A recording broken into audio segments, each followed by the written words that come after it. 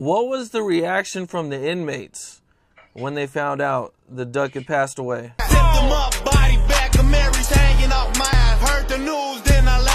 Everybody was on that bitch rapping duck. on. everybody was just, just rapping they they particular duck songs or duck versions. She shouldn't have made a diss,